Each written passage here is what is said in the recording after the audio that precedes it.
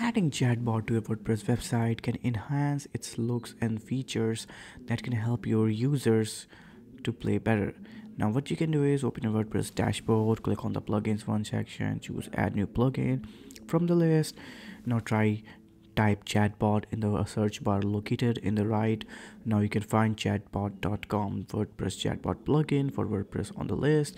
Click on install now. After that, install, click on activate button. You can see on the screen.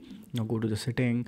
Here you can go to connect account, go to the uh, Zaden chatbot chatbot. Here you can just click on Zaden bot chatbot active add to your site. After click on that, it will be added to your site without going too much code and details you can simply add it on just a drag and drop style on your wordpress website and now you can chatbot you can use your user chatbot and interact with it in the simple steps without doing coding and other code stuff